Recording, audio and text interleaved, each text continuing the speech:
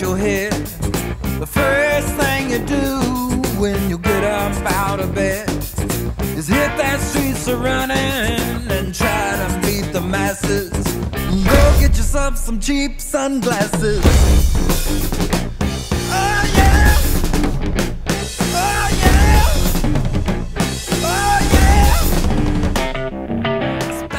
Et bon bonjour mes petites triples croches, aujourd'hui c'est le thème du Texas alors vous allez vous dire, Matt, ça y est, il s'est mis dans la maracas. Mais alors pas du tout, pas du tout, pas du tout. Hein. Le Matt, qu'est-ce qu'il a fait? On a l'honneur, que dis-je, l'extrême chance d'avoir aujourd'hui la collection je dis bien la collection, les basses de De Style, vous savez De Style, le regretté De Style, euh, bassiste légendaire du trio, euh, peut-être un des trios les plus légendaires, appelé ZZ Top. Ce power trio formé dans le Texas, il me semble à Houston, parce que je crois qu'ils sont originaires de Houston, les trois petits gars, par donc Billy Gibbons, De Style et Frank Bird. Frank Bird, pour l'anecdote, Bird qui veut dire barbe et comme par hasard le mec c'est le seul qui a pas la barbe dans le détroit. Bon ça c'est pour l'anecdote, euh, des anecdotes, des anecdotes. Formé donc à la fin des années 60 qui aujourd'hui reste, je pense, le groupe qui incarne le plus la musique euh, texane dans le blues rock en tout cas. Euh, Billy Gibbons, vous savez, c'est un des guitaristes les plus iconiques. Euh, Frank Bird à la batterie, quand même, c'était pas rien en tout cas jusque dans les années 80 parce qu'après il a eu un son de batterie un peu électronique sur Afterburner jusqu'à nos jours, hein, jusqu'à ce que je peux appeler la fin de ZZ Top. Et donc du coup, nous, on a eu l'opportunité d'avoir des instruments de, de style, ce légendaire bassiste de ZZ Top, le roi de la double croche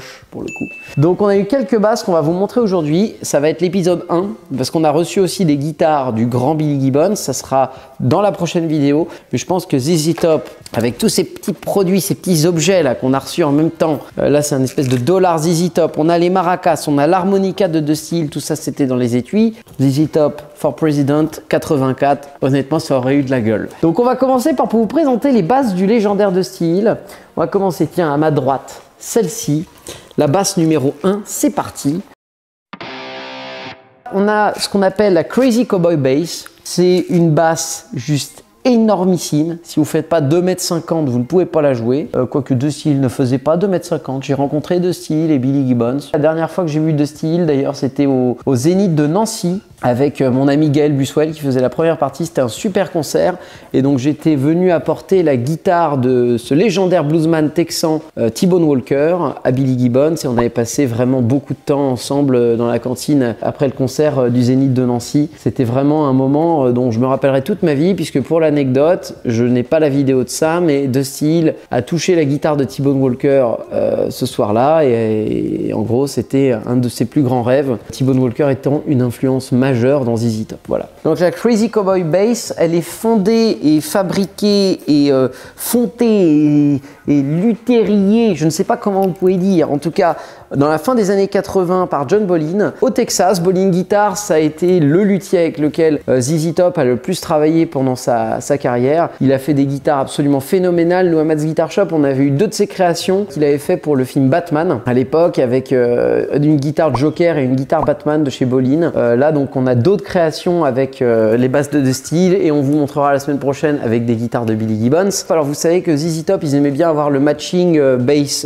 guitare. Billy Gibbons avait une guitare comme ça que j'ai vendue en 2018, si ma mémoire est bonne. Elle est énorme en dimension, elle est énorme en design parce que moi j'adore personnellement. Euh, c'est une vidéo, je pense que dans les commentaires, on va dire oui, celle-là je l'aime pas, celle-là truc. Si tu n'aimes pas, abstiens-toi, c'est mieux parce qu'il y a des gens qui aiment. Et franchement, si tu n'aimes pas, euh, va regarder euh, les guitares de Polyphia quoi. Tu vois ce que je veux dire? À un moment donné, passe ton chemin. Elle a été jouée, si ma mémoire est bonne, début des années 90-91 en tournée par The Steel, notamment un live absolument fabuleux qui est le live de ZZ Top à Milton Keynes dans le, dans le UK, qui est un des lives de référence de ZZ Top. Je pense que si vous voulez une basse originale, vous pouvez pas faire mieux. Et ZZ Top, vous allez le voir dans cette vidéo, les basses originales, ça les connaissait plutôt pas mal. Voilà, donc ça c'est vraiment une guitare incroyable. On va passer à la deuxième une guitare basse, que dis-je hein, Parce que sinon les bassistes vont me sauter au cou. Oui, non, c'est pas une guitare, c'est une basse. Et eh ben en anglais, on dit une guitare basse, mon pote. Voilà.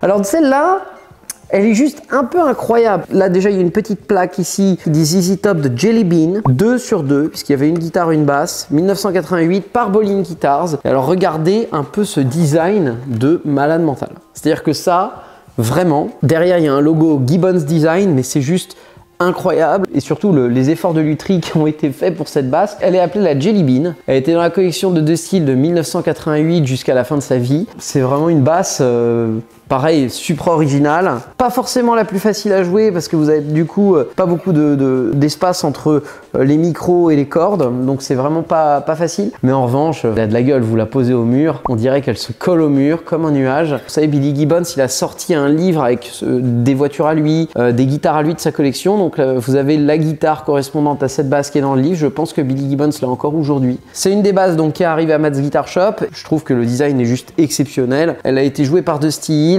on peut voir euh, des traces de jeu derrière, etc. Ça a été une de ces basses et je pense que une de ces basses dans les années 80, fin des années 80 les plus iconiques parce qu'honnêtement, euh, des designs, euh, on va dire crantés comme ça, il n'y en a pas deux. Donc toujours toujours sur un design iconique et ce qui a donné peut-être la Jelly Bean, peut-être que la basse que je vais vous montrer après, c'était la Jelly Bean avant d'absorber des substances un peu nocives parce que là, pour le coup, je vais vous prendre une Gibson Explorer qui était donc la Jelly Bean sans le jelly. Elle vient d'arriver, donc euh, la prise de jack, elle s'est légèrement détachée, donc notre luthier Chris, le meilleur luthier de France et de Navarre, est en train de bosser dessus. Euh, mais on voulait absolument vous la montrer dès que c'était euh, chaud sorti du case, parce que c'était trop beau pour être vrai.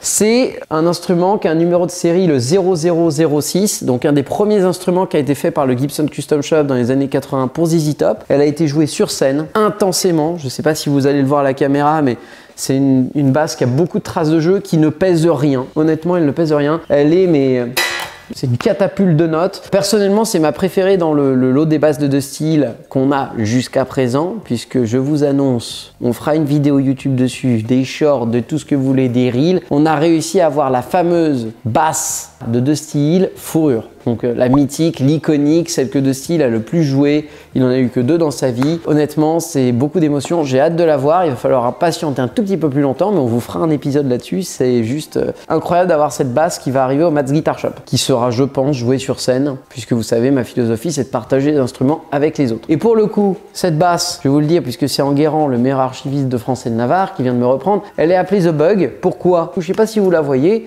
mais il y a une petite mouche en métal sur la tête. Donc c'était un moyen mémotechnique. Est-ce que c'est un problème d'accordage? Est-ce que c'est pour dire que c'est la numéro 1 ou l'asper On ne sait pas, mais en tout cas c'est une basse qui a fait pour sûr le tour du monde et qui est euh, juste sublime avec des micros donc EMG euh, assez fabuleux.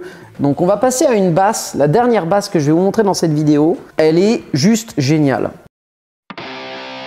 Donc voilà la dernière. Vous allez vous dire, je connais ce design, c'est une Ibanaise. Bah oui, vous avez raison, c'est une Ibanaise. C'est une Ibanaise de la fin des années, euh, milieu des années 80, quand ils ont commencé à sortir les fameuses gemmes, qui étaient le design que Steve Vai a co-créé, co-designé avec Ibanez. Et là, pour le coup, c'est un truc de fou, parce que s'il y a des, spécialistes d'Ibanez, n'hésitez pas à me le dire. Mais dans les années 80, fait au Japon, donc là, cette guitare, je vais vous prendre le numéro de série, c'est un, une, une guitare de la fin des années 80, donc 1988-1990. 1989. À mon sens, une basse j'aime avec ce design-là, c'est peut-être la seule au monde. Voilà. Je pense que Ibanez a fait cette base pour deux styles. J'ai cherché sur internet la même, je n'ai jamais trouvé. Donc si vous avez euh, des plans, n'hésitez pas, mais à mon sens, euh, c'est la seule. Voilà. J'attends vos avis en commentaire, des petits coups de pouce. En tout cas, pour le moment, je trouve que c'est une basse extraordinaire de par son look. Je pense pas que De Style ait beaucoup joué cette basse, même s'il y a quand même des traces de jeu dessus. Il y a qu'à Mats Guitar Shop qu'on peut voir ça, les petites triples croches.